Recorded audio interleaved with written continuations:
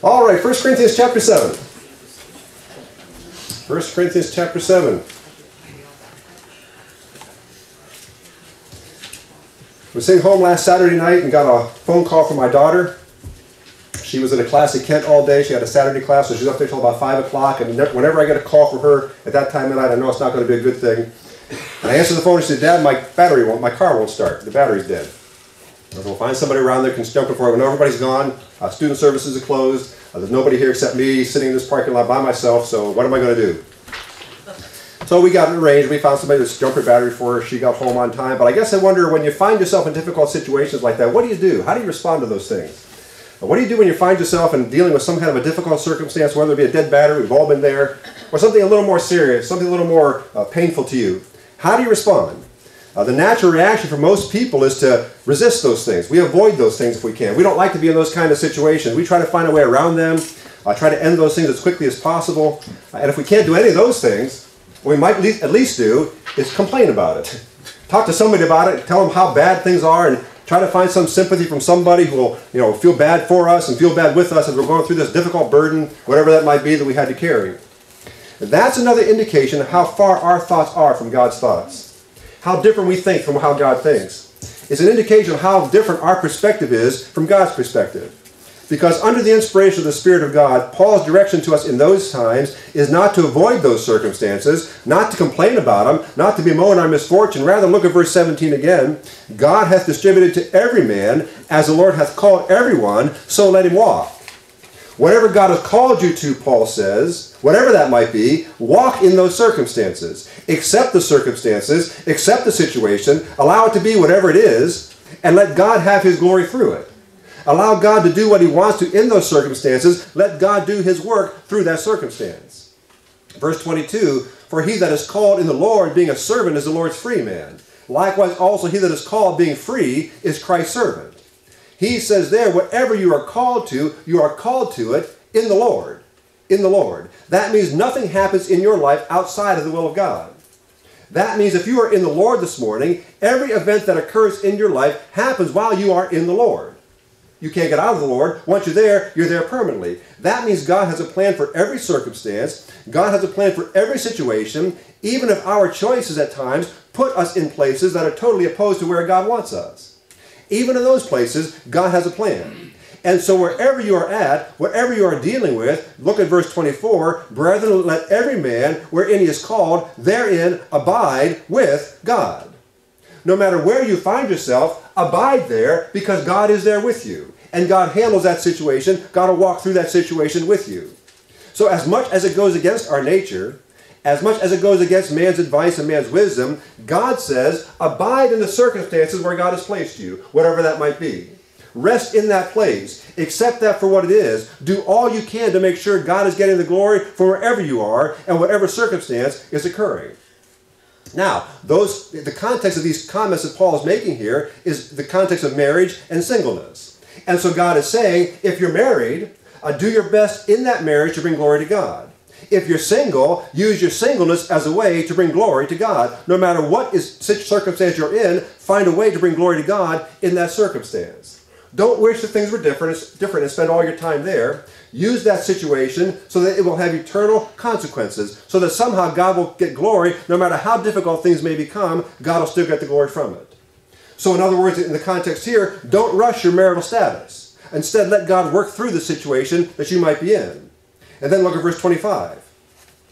He says, Now concerning virgins, I have no commandment of the Lord, yet I give my judgment, as one that has obtained mercy of the Lord to be faithful. Now he's going to begin to address those who have never been married. And he says again, as he said twice now, the things that I'm going to say to you, God did not command me to say. God has given me permission to say these things, and because God has given me permission to say them, I'm going to say them.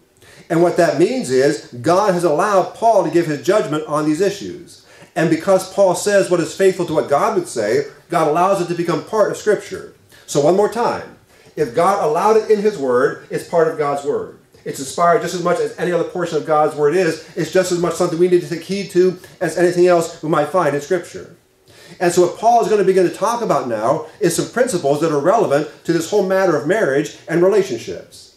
And he addresses here in verse 25, he addresses virgins. That's somebody who has never had a physical relationship with someone of the opposite sex, and therefore they've never been married.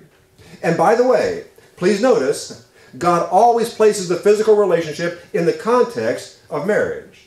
God never puts his approval on that relationship outside the boundaries of marriage. No matter what some non Christian or some Christian might say to you, that is never God's will. A person's lack of self control does not affect God's standards. God doesn't make allowance for that because we can't handle it. God says what's wrong is wrong, even if times have changed, even if prevailing thought is to the contrary, God still has a standard that he holds to. Expects his people to hold to it as well. That's who he's speaking to. He is speaking to those who have never been married. Verse 26. I suppose, therefore, that this is good for the present distress. I say that is good for a man so to be. So he speaks first to male virgins, those who are male and single. And Paul's direction there is if a man is single, it's probably best for him to remain single. Verse 27 Art thou bound unto a wife? Seek not to be loosed. Art thou loosed from a wife? Seek not a wife. Now he addresses those who are married, and he says, if you're married, it's best for you to remain married. I read a quote from Dr. Bob Jones Sr.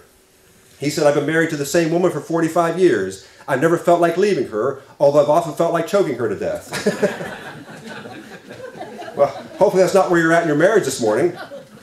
But Paul's direction is once you're married, stay married without choking her to death. Stay married. Then Paul says in that same verse if a man is divorced, it's best that he remain single. He should not seek a wife. What if he does? What if he chooses to re not remain single and marries again after being loosed from a wife? Verse 28 But and if thou marry, thou hast not sinned. And if a virgin marry, she hath not sinned. Nevertheless, such shall have trouble in the flesh, but I spare you. Paul says if you do choose to get married after being separated from a wife or a husband, you have not sinned if you do that. He does say you're going to have difficulty in the flesh as a result of that choice, which is why Paul's primary suggestion is once you're out of a marriage, it's best for you to stay out of that mar- out of a marriage. Now, I'm going to stop here. And for a few minutes, I'm going to address this whole matter of marriage and divorce and remarriage. And I'm doing that because there are a lot of ideas floating around out there from Christian circles and from Christian people that I don't believe are necessarily biblical thought. And therefore, I would like to go through this as biblically as it possibly can. And I realize that I'm walking in a territory where angels fear to tread. I realize it's a very sensitive topic for many people. I realize many of you have been affected by divorce, either personally or a family member or somebody else. I also realize many of you have not been affected by that. So what I'm going to try and do this morning is first of all tell you I'm not divorced, never have been. And therefore I am talking about something that has never directly affected me. That's why I'm going to stick strictly to what the Bible says about it. I'm going to avoid the best I can giving any personal opinion about something I've never had any experience with, personally and you may not agree with everything I say here this morning, I would ask that all you do is listen to what the Word of God says, and that if you disagree with me, disagree on biblical grounds. Find verses of Scripture that are contrary to what I've said, and please come, let's talk about it. I'm always willing to do that if you find something that you disagree with from the, the things we talk about here. I would ask, which is very difficult sometimes, that we not base what we think on our own personal opinion that everything we think about, whatever the topic is, we always go to the Word of God to find out what God's Word says, instead of basing on what we think or what somebody else says that we think, that they think, somebody we know or admire, what they think about the topic. What I want to know this morning is what does God say about this whole matter of divorce and remarriage? And I want to start with you this morning by going to Deuteronomy chapter 24. So hold your place in 1 Corinthians chapter 7 and go to Deuteronomy chapter 24. And by doing this, we're going to get the context of this whole topic because this is the first time it is mentioned in Scripture. It's actually mentioned in the book of Deuteronomy. So to get the full picture, we got to get it from the all Scripture that, that uh, talks about it.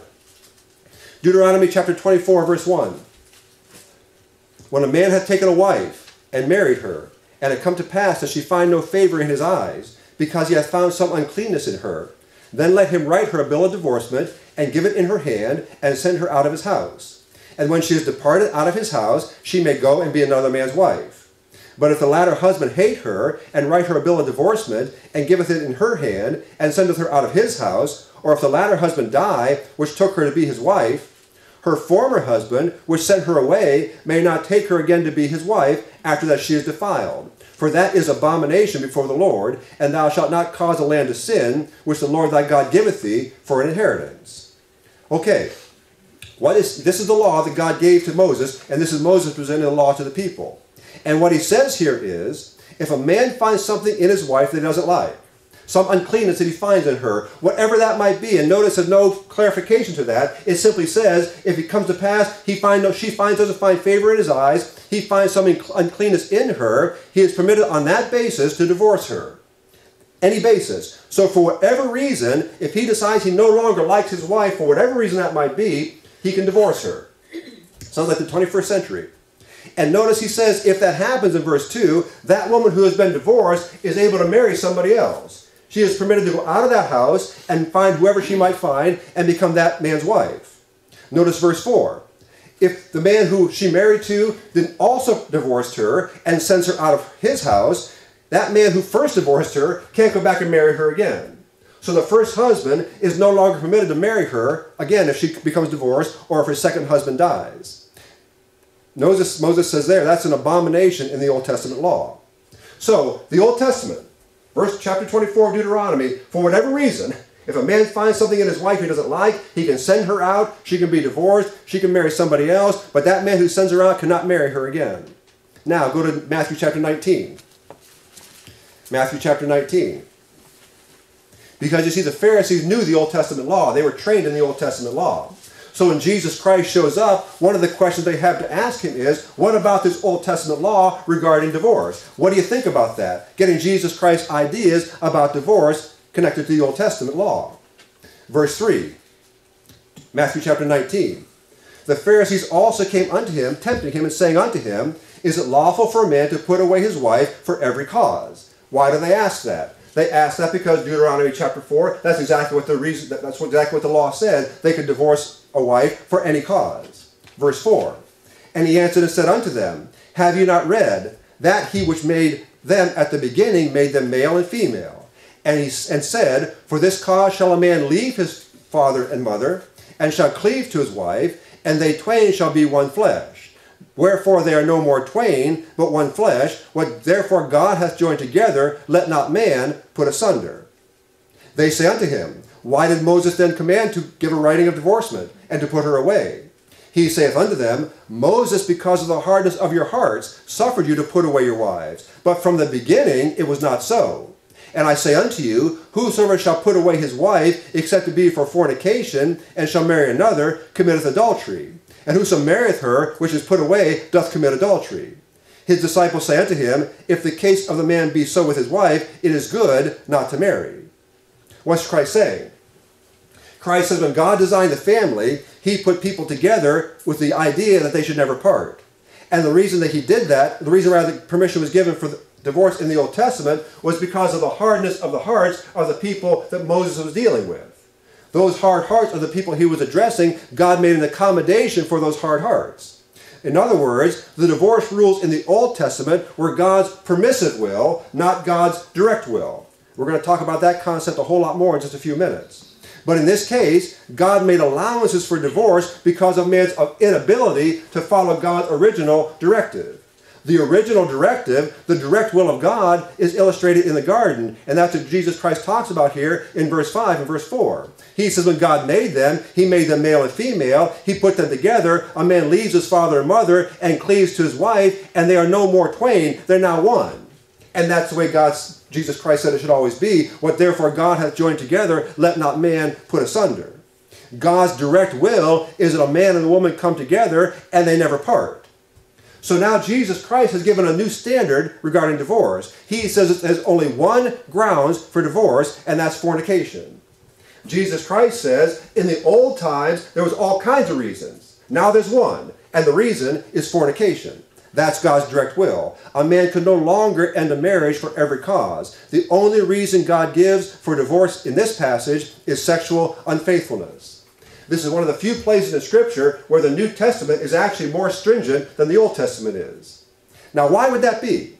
Why is Jesus Christ putting more restrictions on marriage than what was happening in the Old Testament? We've talked about this before. I'll review it with you very quickly. In the New Testament, marriage takes on a whole different picture. And there's a significance to marriage in the New Testament that was not there in the Old Testament. Ephesians chapter 6. Marriage now represents what? Christ and his church. Is now representing the bond between Jesus Christ and a believer. And marriage now is the picture of the bond that exists between Jesus Christ and his bride, and therefore the, the grounds for divorce are reduced. So that nobody can miss the picture that God has put something together that he never wants to part. What's the picture? The picture of Jesus Christ and his church. There is now a lasting union that exists between Jesus Christ and his bride. And so the grounds to end that union, because of the significance of the picture, are greatly reduced as a result of that. No longer is it for every cause. So, from Matthew 19, we find this unfaithfulness, sexual unfaithfulness, is a clear grounds for a marriage to end, according to Jesus Christ's words. What else is a biblical, acceptable reason to end a marriage? Go to 1 Corinthians chapter 7. Back to where you were a few minutes ago. 1 Corinthians chapter 7. Look at verse 39. 1 Corinthians chapter 7, verse 39. The wife is bound by the law as long as her husband liveth. But if her husband be dead, she is at liberty to be married to whom she will, only in the Lord. Here is the second reason. Very obviously, death is a reason for remarriage. That's also reinforced to us in Romans chapter 7, verses 1 and 2. If a death occurs, the spouse is now free from the bond of that marriage relationship, and she is now permitted to marry somebody else, or he is permitted to marry somebody else. The third reason to end a marriage is what we talked about last week, 1 uh, Corinthians chapter 7 again. If a person is married to an unbeliever, and the unbeliever chooses to leave that relationship, the believer who is left is now freed from that relationship and is permitted to marry again. That is specifically targeted, hear me now, specifically targeted to a believer and an unbeliever in a marriage together. The Word of God assumes that two believers will stay together and not leave each other. And therefore, God never addresses that specifically in the Word of God.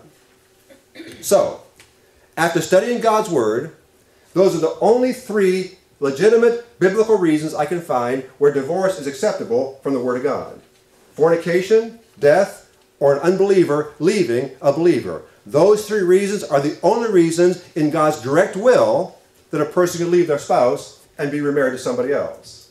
Now, I'm well aware, especially because of the work I do, there are many, many other things going on in marriages. I see it more and more every day. When I started this work many, many years ago, as to what I'm doing now, I've been amazed at the new things come in to try and destroy marriages, to get into marriages and disrupt them. I realize there's physical abuse. I realize there's mental abuse. I realize there's emotional abuse. I realize there's involvement with pornography and internet relationships, alcoholism and drug use, and on and on we could go. All kinds of things get in the way of two people being married to each other. And those are horrible things. And they put a tremendous strain on a marriage, and especially on the one who is the victim of those behaviors. Again, I work with it every day. I see how it goes. So I know what that's all about. Is it okay to end a marriage because of those things? If those things are occurring in a marriage, is it okay to end the marriage because of those things? Or what happens if a saved person leaves the marriage? They choose to go out and they leave the other saved spouse behind. Is it okay for that spouse that is left in that situation to end the relationship and move on to somebody else? I'm going to say much more about this in a minute. But let me start out by saying this. There are three biblical grounds for divorce. Fornication, death, and desertion by an unbelieving spouse. And if any of the other things that I just mentioned to you fit into one of those three categories, then you have a clear biblical ground to end your marriage. And if they don't fit into one of those three categories, we do not have a clear biblical ground to end that marriage. And in those cases, it becomes of utmost importance that the person in that marriage seeks God's face in prayer, intensely examines the Word of God to determine what course of action they should take with those kinds of things going on. But I'm going to say this, I'm going to be very careful when I say this, because I understand the gravity of the situation. If there is not fornication or death, or desertion by an unbelieving partner, divorce should not be the first response in any other situation. It should not be the first response. And I say that only because any other situation does not meet the clear criteria God has given for divorce. So if a person is in that kind of a situation, there's, there's alcoholism going on, there's pornography going on, or there's other things going on, mental abuse, verbal abuse, uh, physical abuse going on in that relationship, what should that person do? Well, if after careful consistent, heartfelt prayer, after carefully studying the Word of God, and they feel divorce is the only choice they have and they need to end that marriage, I would not argue with them about that. It's not my place to argue with them about that. I am not the judge in those situations. By the way, neither are you. and neither is any other preacher, or teacher, or pastor. That is between the believer and God himself. That's who works it out between the two. It's between them. It's not my place nor your place. That's a decision between them and the leading of the Spirit of God. The only advice I would give in a situation like that is make sure the choice you make is how God is leading. And make sure that everything else has been done prior to that to try to remedy that situation. And if it simply seems there is no other choice, that they must, then they must do whatever they see best to do. Now, the only reason I'm hedging about this is because I have dealt with people who are looking for any reason in the world to get divorced. Uh, most people, well, I shouldn't say most, many people who come into my office are coming to my office to finish counseling off before they get divorced. It's like they, they go through that step, it still didn't work, so now they can, they're, they're free to, to leave that marriage. Uh, people are looking for reasons to get out of marriage. Many people are. So when an opportunity presents itself, rather than seeking God's plan in that situation, rather than seeing what God would have them to do or my desire for them to do in that situation, they immediately get out using a bad situation as the reason for the choice they made. Folks, let me tell you something, and you know this, but we'll just say it. You know from the Word of God, God is all about reconciliation. That's what God's about. That is God's first choice every time. Now, I'm not saying it's always possible. A God died to reconcile the world. Not all the world is going to be reconciled. They make other choices. But that is God's primary objective, and that should also be our primary objective. Now, it may not be possible. I'm, i understand that. What I'm saying is reconciliation is the first step. And so we don't look for other opportunities, uh, uh, other choices, until that choice has been fully examined and fully pursued. And if it doesn't work, then we need to move on to whatever God leads us to do. But I will say this, generally speaking, whatever difficult situation we find ourselves in, God always wants to do something in that situation to teach us and draw us closer to Him. That's why I mentioned to you at the outset, what do you do in difficult situations? Do you run from them? Or do you seek to find God's will in them? Whatever difficult situation we find ourselves in, all things work together for good to them that love God, even bad marriages. Even bad marriages. And if we leave a situation too quickly, whatever that might be, we may lose what it is God wants us to learn from that situation. So, again, one more time. Three biblical reasons to end marriage. Those three I just gave you. Everything else must be thoroughly bathed in prayer, must be thoroughly bathed in a study and a clear seeking of God's Word. Every other situation to be in God's will, we must seek to find out what He wants us to learn. We must seek honestly, find ways that He wants us to deal with that situation. And we should make no decision until we have definite peace that the decision we are making is the decision He wants us to make. And again, that's true if we're talking about bad marriages or if we're talking about anything else. The principle is the same. Before we do anything, seek God's clear direction, seek God's will, and make sure you've got a peace about the decision you're making. And then if you have a peace about it, nobody can argue that situation with you. So, let me ask you this question. When is it okay for a saved, divorced person to remarry? Is it ever okay for a saved, divorced person to remarry? If a person has been divorced based on biblical grounds, clear biblical grounds from God's Word, can he or she remarry again? 1 Corinthians chapter 7 and verse 27. Art thou bound unto a wife? Seek not to be loose. Art thou loose from a wife? Seek not a wife. But, and if thou marry, thou hast not sinned.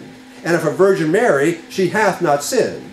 Nevertheless, such shall have trouble in the flesh, but I spare you. I mentioned to you a minute ago, God has two wills. You find that in, in Romans chapter 12. God has two wills. God has a direct will, and God has a permissive will. What is God's direct will? God's direct will is His perfect will. It's His perfect will. It's exactly what God wants to see happen. It's the exact place God wants find each one of us doing the exact thing God wants us to do in the exact place where God wants us to do it. That is God's direct will. But then God also has his permissive will. That is his second choice. And he will, he will allow us to do certain things or be at certain places in our lives, and he'll bless us in those places, even though it's not the first choice for us to be. It's not God's first choice for us, but God will bless us in those places, even though he'd rather have us in his direct will in verses 27 and 28 of 1 Corinthians chapter 7, you have both of God's wills mentioned to you. What's God's direct will? Art thou bound unto a wife, seek not to be loose. God's direct will. If you're married, stay married, and don't seek to be loose from your marriage. God's direct will.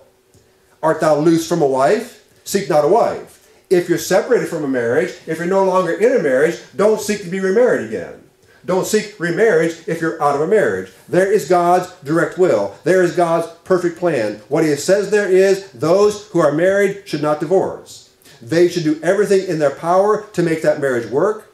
They should accept some things that are not going to be the way they want them to be in that marriage, and they should never give up on that marriage. And if the marriage doesn't work and they do have to divorce, they should not seek to be married again. That is God's direct will. They should accept the fact that being single is where now God now wants them. They should resign themselves to that. That is the perfect will of God. So if you want all the blessings God has for you, if you want to be in his direct will and have all of his blessing, no matter what that may mean, no matter what consequences brings you, then what that means is stay in God's direct will. Do what God wants you to do in his direct will. Verse 28. God's permissive will. But, and if thou marry, thou hast not sinned. If a person chooses to remarry after getting out of a marriage for biblical grounds, they've not sinned.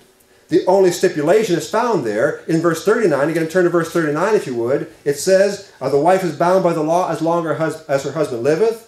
But if her husband be dead, she is at liberty to be married to whom she will. Next four words, only in the Lord. God never, ever, ever expects a believer to marry or to be with an unbeliever.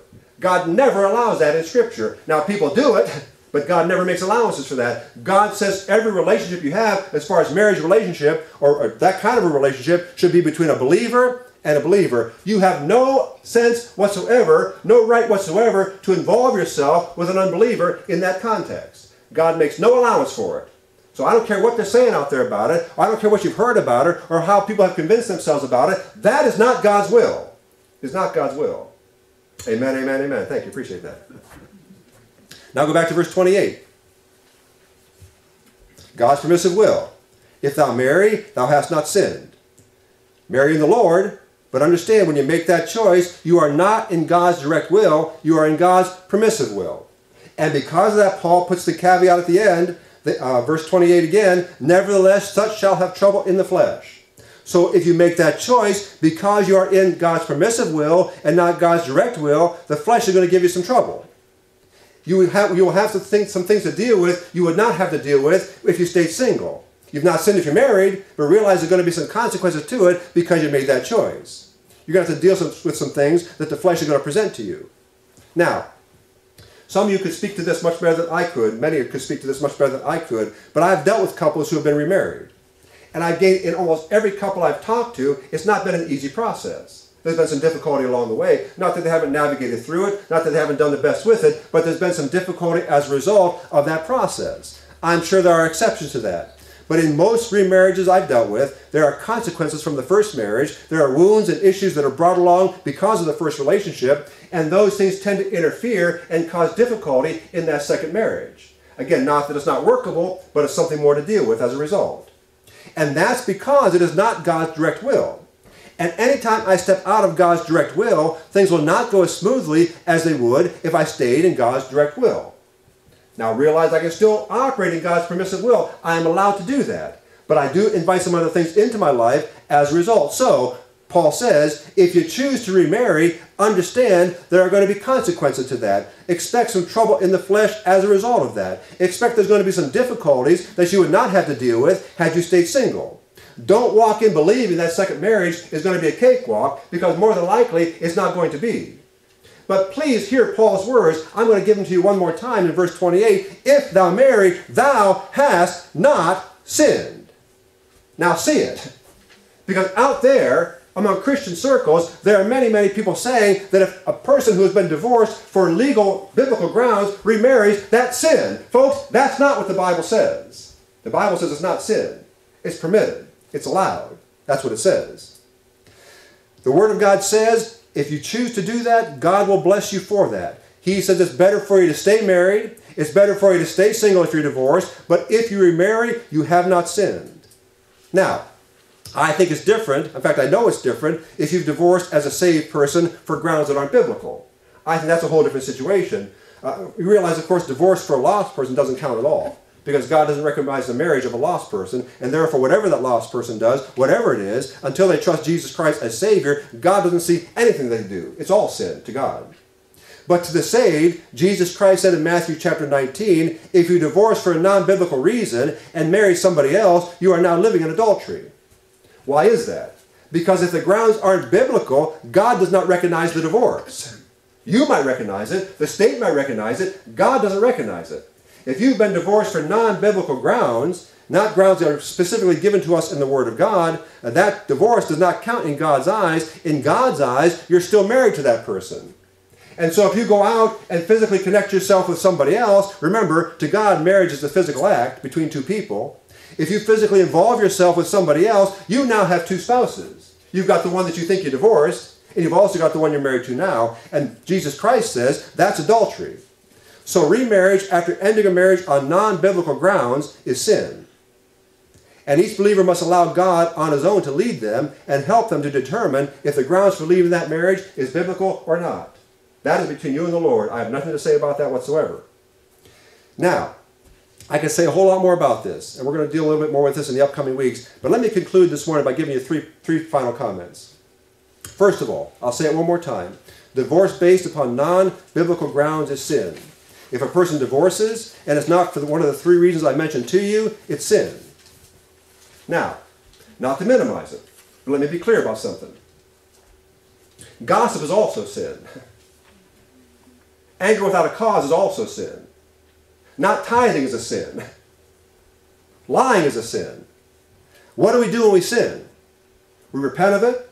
We sorrow with godly sorrow over the sin we've committed. We forsake that sin. We accept there's going to be consequences that may remain in our lives because of that sin, and we deal with those consequences and we move on. That's what we always do with sin, no matter what the sin is. 1 John 1 9, confess it, he forgives it. Confess it, he forgives it. And that does not pl- apply to every sin except a non biblical divorce or a non biblical remarriage. It applies to all sin.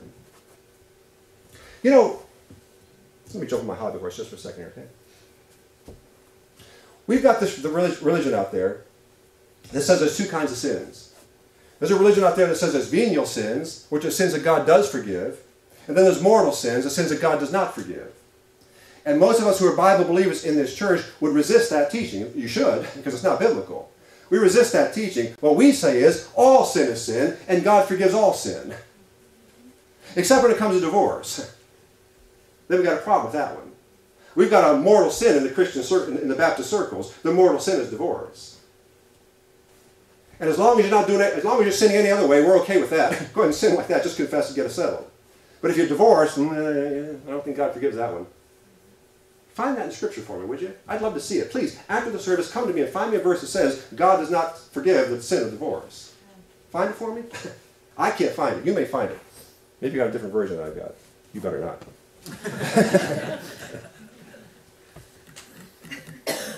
when I trusted Jesus Christ as my Savior, He took care of all sin. Past, present, and future. Because you see, when Christ died on the cross, all my sin was future sin. I hadn't even been born yet. So all my sin was future sin. And therefore, all my sin was covered by the cross. When I took the work of the Lord Jesus Christ as my work, when I asked forgiveness for my sin and accepted his salvation, all my sin was covered at that moment. It's all forgiven. Now, as I say that, I don't want to minimize the effects that divorce can have. Testimonies are affected by divorce. Your ability to serve in certain places in the church might be affected by divorce. The picture of Christ and his church is harmed by divorce. I get all that. There are consequences to that sin, to that divorce that we can't gloss over. But once you have that settled, once that sin is truly for, confessed and forsaken, life moves on because God forgives sin. God forgives sin. God's work on the cross, God's work continues through you, and God can use you in His work because sin is settled. The only way God cannot use a believer in this church is if you got sin in your life that's not confessed. But if you've got sin in your life that is confessed, then God's forgotten that sin. It's already settled. He's cast it aside. I'm not minimizing. I'm simply saying to you, all sin is sin, and God forgives all sin, no matter what it might be. And I know some divorced folks who God has used in marvelous ways after the divorce. I know some folks that God has used in great ways after the divorce, after they got it settle with God, after they, they and God got together and worked that thing through. Now, could God have used them in greater ways? Have there not been a divorce? I believe that's probably the case. But God is in the habit of using damaged people. Because all of us come to Christ with some kind of damage. Amen. And just because it's not divorce doesn't mean it's any less than another kind of damage. We all come with something. And God uses us in spite of that damage. God uses, uses us in spite of the difficulties and the character flaws and so forth. So God uses all of us if we're willing to be used. Here's my second point. If you've remarried after divorcing for a non-biblical reason, and you are now aware the reason that you divorced was not right, approach it the same way that I talked to you about just a minute ago. Confess it as sin. Show genuine sorrow for that sin, for the choices you've made understand there's going to be consequences in some form or another because of the choice you made and move on the best way you can and serve God in whatever opportunities God gives you to serve Him. Now, again, in that case, your work for the Lord may be more limited, but God can use you and God will use you if your heart is right, if your repentance is genuine, and if you understand some limitations that might occur because of that choice. But once you got all that and you settled it between you and the Lord, move on and begin serving God however you can. Number three, if your marriage dissolved on biblical grounds and you then remarry in the Lord, despite of what you have heard, that is not sin and God can use that marriage. Divorce is not the mortal sin of the church, folks. It is not. If you have been divorced for biblical grounds and you remarry somebody in the Lord, God will bless that marriage and you have not sinned as a result of making that choice. Now again, Paul says, verse 28, there's going to be trouble in the flesh. There are going to be some difficulties because of that, but aside from that, that is not sin, and God can use you. And here's what I see in all this. And here's the lesson for all of us to learn today, whether you're divorced or not. God uses willing hearts. That's what God uses. God uses people who are willing to be used. God will even use people who aren't willing to be used sometimes. Uh, we look at Balaam and so forth. But if you're willing to be used, God can use you. I don't care what kind of sin is in your past. When I was growing up in church, I, when I was growing up in church, we'd have these fellows come through, these evangelists come through. And in the old days, you know, they were very proud of their old sins. they tell you about all the stuff they used to get involved in, you know, all the drugs and all this stuff. I mean, they were doing a great deep. I, I think some of got gloried in the old sins. And they would present like, you know, message after message talking about the old sins they were involved in, and then they tell how Jesus Christ saved them.